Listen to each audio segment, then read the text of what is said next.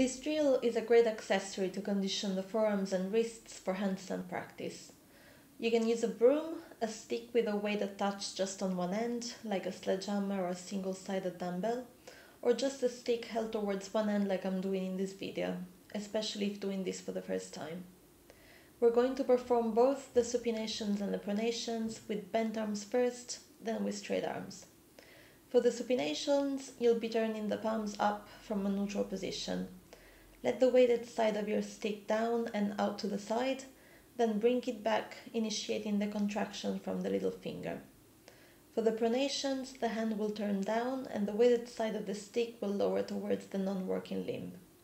Perform both the bent and the straight arm variations for the prescribed repetitions with the suggested tempo.